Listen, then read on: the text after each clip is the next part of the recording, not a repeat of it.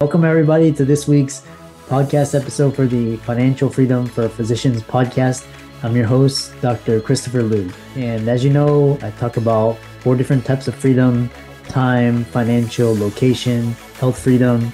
And in that light, I'm always bringing across investors, entrepreneurs, people doing things on the cutting edge, trying to bring that resource, knowledge, information to you to help you inspired, get educated, and motivated. So today we have uh, Patrick Grimes, and he's actually going to be talking to us about um, the real estate industry, but with a special twist, you know, t- with a tech twist and talking about tax advantage investments in the oil and gas. He's the CEO and founder of Invest on Main Street, and he actually started out um, with uh, in the high tech sector. We'll, we'll, hear about his story a little bit later, but um, we'll bring Patrick onto the show. Welcome. Christopher, uh, Dr. Loo, sorry. Uh, happy to be here. Really excited about it.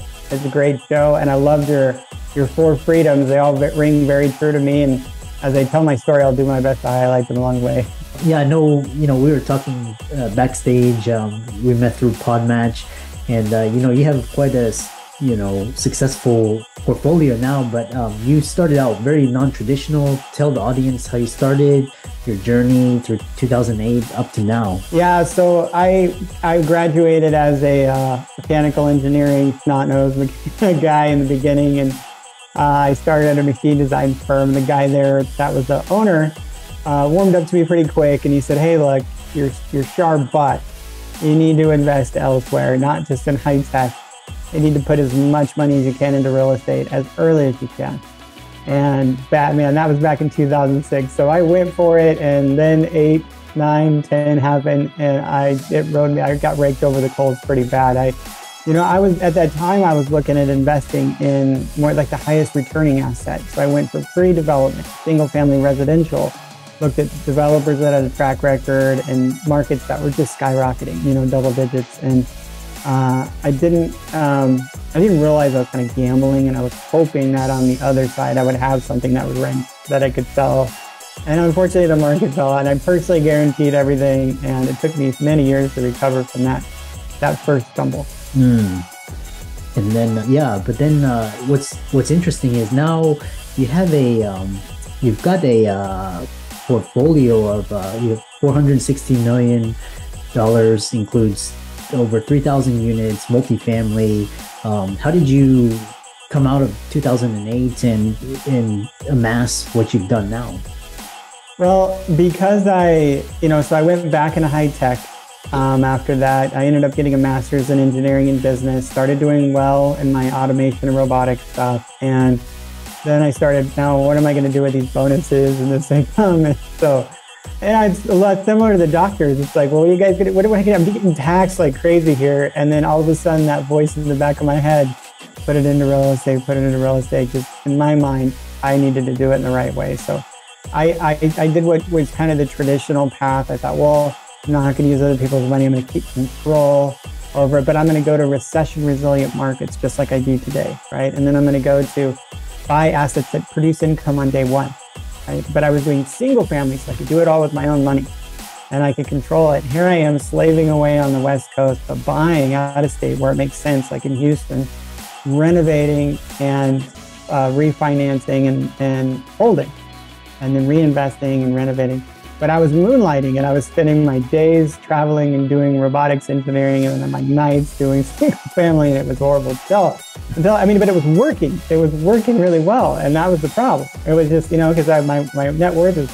But I realized when I met my wife, I I was basically undateable during this time. When I met my wife, like wait a minute, she was there for my very last single family closing, and that's when I just I said I'm going to take a break from this. We got married here in California, and then in Beijing, I was on a horse with a red suit with a bow and arrow and got a dragon on it. Was a carrier with a red phoenix and you know, and a car- you know, just a beautiful wedding. And It was procession, a whole nine yards. And after that, we came back and I said, look, we're scaling into larger assets. I went from three bedroom, two bath. My first multifamily deal was 86 units. 80 units and above gives you that scale you need to have on-site management, non-recourse debt, scaled in uh, renovations, as well as ability to force rents and just a much better asset. My calculus, there really isn't anything between those that made sense. Um, and so I went all the way to the next most obvious choice in my mind. Yeah.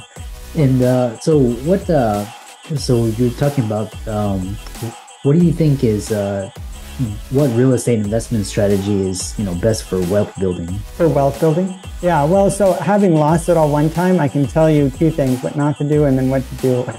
and so, uh, so we buy in recession resilient markets, and I'm very, very narrow focused in this. And you can, it's not being a data, you know, nerd. Essentially, I, am sticking true to my engineering self. it's easy to see in the past where the volatility has happened, and in what macro and micro markets the uh, the the impacts have had in recessions and the type of recessions, and which ones withstood or had rebounded quickly and done very well. In fact, the most stable was the Houston, and that's why I started my single family portfolio and other markets with similar diversified employment makeups, not heavy in, in just a high tech or just a Detroit style or just in Orlando vacation hospitality, but that have logistics and finance and education and healthcare. In fact, we have a, we have several properties near the healthcare center in uh, Houston this is the number one life science destination in the world. But there's also energy, there's logistics, there's there's uh, uh, there's all the other verticals there, right? And so you have built-in insulation for market volatility, and, and so we have a throughout the southeastern states and Texas, we do have a diversified portfolio of income-generating real estate. Now, so we go for recession resilience. We also go for low leverage, which means we use high down payment and make sure we cash flow in day one. So much so that our our allowable vacancy are enough cushion to even ride out where we've seen the vacancies drop in fast recessions. And that's really critical because we call that a break-even occupancy. I mean, if the occupancy is so low, even if the recession happens again, we're going to ride it out, no problem, right? But a lot of the deals we find, people didn't have that. They didn't, you know, they, they didn't recession-proof or COVID-proof the vacancy factor. So we're finding all these distressed operators because they lo- they're losing cash. They didn't put enough down, have mm. delinquency, or they have a delinquency and an emergency happen. Mm. A finance, financial or natural disaster, uh, or a combination thereof. Like we had right now, a building burnt down. The property we're closing right now, mm. and he had a delinquency problem where people weren't paying. Mm. Well, we save up six months in reserves as well as put up low down payments so that even if the combination of those two happen, we're not on the other side as a distressed operator. But as long as they're out there, we'll be have we'll find good deals, right? Yeah. And so we look for stability and income. We look for st- capital preservation with reserve, uh-huh. and we look for the right investors that are that get rich quicker. You know, we don't try and empty out properties and flip, flip, flip large multi-family. We're steady. I'm, I'm convinced the tortoise will outpace the hare. Mm. And with compounding returns, refinance out your capital, you can reinvest it, refinance and reinvest, get multiple streams of income, diversified markets. That is how you build wealth. Yeah, it's quite interesting. So uh, yeah, I mean, what you're talking about is you know, you know, classic, you know, great advice, and then um, do you focus like on more on single family, multifamily, commercial, like syndication? What do you what is you what do you focus on? Yeah, so I've you know looking at you know hundreds of different asset types. My primary focus, literally, if you look over time, the workforce existing existing workforce housing over 80 units provides you the scale and stability in recession resilient markets that you get in recession resilient markets with three bedroom, two bath, single family. So rentals, long-term rentals, and that's it. I, I don't, those are the only two in real estate. And I'm convinced that those two provide the most stability. I only do large multifamily now and I scale and I bring investors along with us, right? We, we bring investors that want to be passive like your, or active investors like I was that want a 1031 exchange out of their rentals mm. stop doing the land the landlord tenants toilets and trash and want to join me as a partner. We can trade them it that's basically the primary business but the other focus we do is in oil and gas. And you, you mentioned that yeah. well. Yeah, we'll talk about oil and gas, which is really interesting. Uh, like like we were talking, you know, physicians, you know, they're pretty much they want something stable, consistent, something very cook, cookie cutter, nothing variable. So um, you know, what you're talking about, resist uh, recession resilient markets, you know, very stable strategy, you know, large down payment, low leverage, cash flow. Um, which is quite interesting. I've been getting a lot of questions. You know, a lot of physicians are, you know, questioning. You know, is this the is this the top? Is this gonna be? Is this 2007? And then is next year the year after gonna be 2008 all over again? You know, what do you, you what are your thoughts on that? Well, so on the real estate side, I've been every year since then. I've been thinking to myself, because in 2007, everybody told me the market was never going to go down, right? so every year since then, I've been putting deals together, assuming that the next year was going to be the fallout. The next year was going to be the fallout. So I've been developing, I've been modeling and structuring deals to write out. In fact, in every single one of our decks, it says underwritten, which means kind of projected modeled in a way to survive, or underwritten with an eye towards what happened in 8, 9, and 10 versus 2015 through 2020. And because the idea is you need to buy, uh, you need to buy long term, not being a flipper, but you need to buy it to withstand a recession. I don't like gambling and hoping there's no recession. I like projecting and planning for it. And if there's not one, that's upside. and so we, I mean, like in our last deals, we we returned a 70 IRR and we're looking at a projected 50 at the end of the year. And like, because there hasn't been one, but we projected 18 IRR and a five year old because, you know, we were just making sure we could still meet if there was one. Today, we're getting some of the best pricing from these people who are trying to flip, trying to get in and out, didn't have the reserves, didn't have the down payments, and or didn't have the interest rate caps or ah. fixed interest yeah. We're finding all these deals from these people that they didn't structure the deals like we did. So right now, is an incredible time to buy because you know, as they, as you know, Warren Buffett said, when everybody's fearful, time to be greedy. Which, if you're a flipper, you got to stay out of the market right now. But if you're a long-term, structured investor that knows how to buy and fix the interest with low leverage and with a value play, and you can pull these distressed properties and stabilize them, it's perfect. If we're getting discounts we couldn't have gotten you know two years ago. Yeah, it's quite interesting. Um, you know, talking to different people, you get different perspectives. Um, like, for, you know, for long term, you know, for high income professionals, you know, real estate is a very safe, stable play. It's just, it's just when you have the speculators and gamblers, and you know, have these hot markets, and you know, then that's when people get into trouble. So, um, like I said, sounds like your strategy is very conservative approach, very value based approach. The other, let's see here. So you talked about um, this idea of uh, oil and gas as tax advantage. Tell us more about that. That's quite interesting. Well, let me first say that I'm going to come right out and say it. Uh, I come. The really reason why I'm in oil and gas is because most of my investors are predominantly in real estate, which is one vertical and they're quote diversified air quotes right for the listeners because they're in single family vacation rental assisted living mobile home park self storage and multifamily and, and in my mind to being the engineer and the analyst that i am i was like there's no way that that is diversification that is not diversification yeah. you're in one vertical you're in one market riding one cycle and yeah.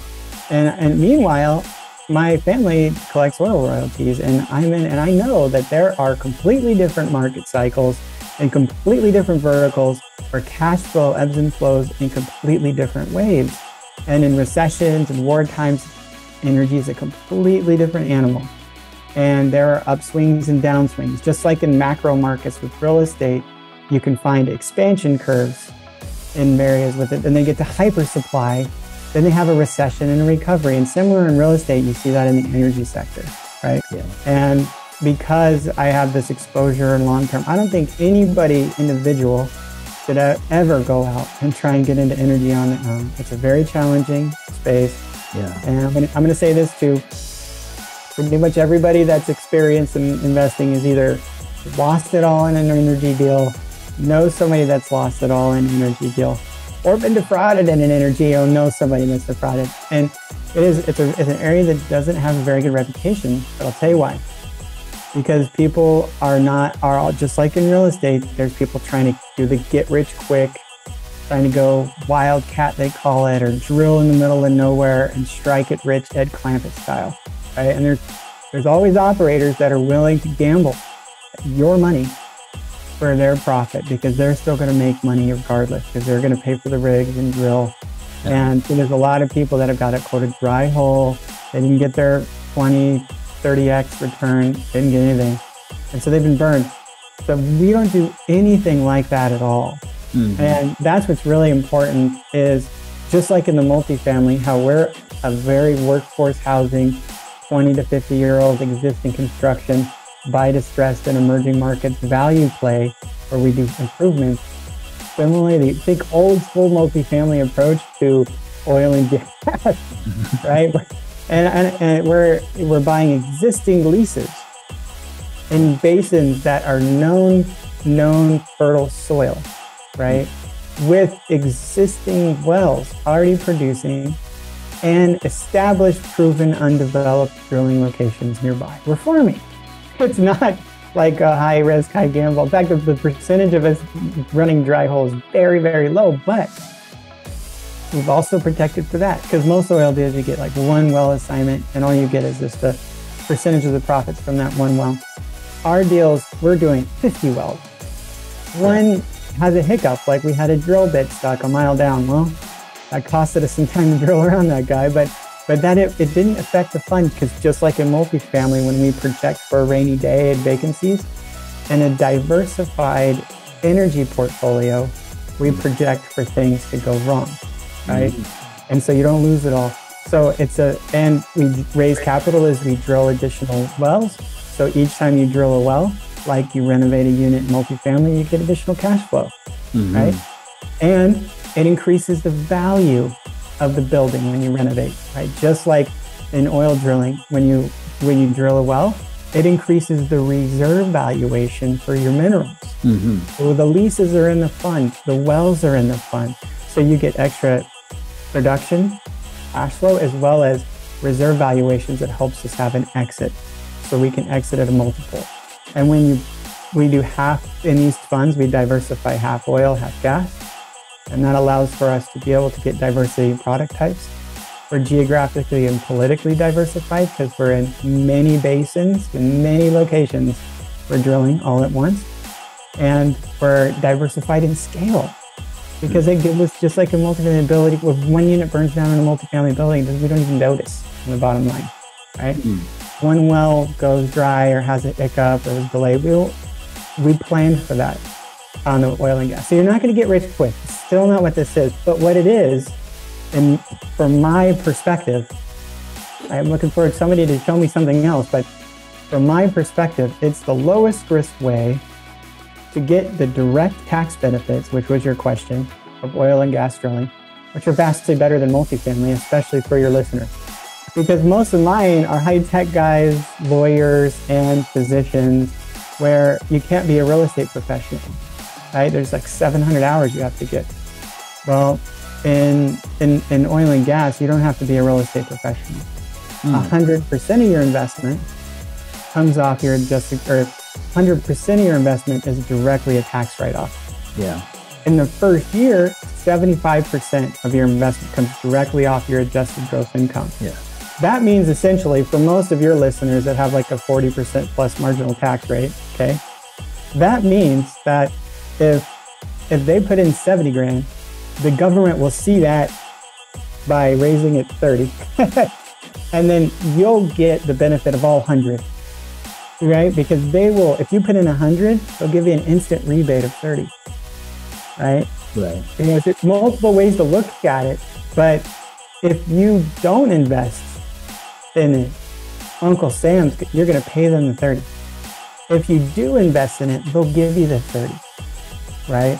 Yeah. So it's just, and you, Robert Kiyosaki just, you know, is huge, and Tom Wheelwright are all big names, and they're all investing heavy in North Dakota, Colorado, Texas oil and gas. Warren Buffett th- th- this year, Warren Buffett just put like 12 billion into Occidental. And, and right now, oil and gas is just simply the best hedge against inflation that there is. mm. uh, because of the waning of the of the housing market. So, a lot of different angles to look at it. It is more risky, but it's measured volatility, and when structured appropriately, it can be done. I'm not condoning people go do it on their own. I'm saying in these very specific strategies, like a very specific multifamily strategy and this very specific oil and gas direct drilling strategy.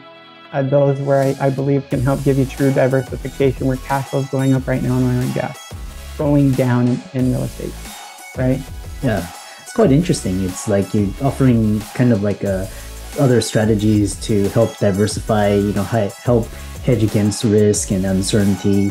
You know, obviously you don't recommend or not this is not financial advice, but you don't recommend somebody put their hundred percent of their net worth into these ventures. Right. But, um, you know, a small percentage to hedge or you know to learn. So um, I know you have a book um, out, which I encourage the audience to check out um, which is persistence, pivots, and game changers, turning challenges into opportunities. And um, tell people about it and how they can find you, follow you, visit your website.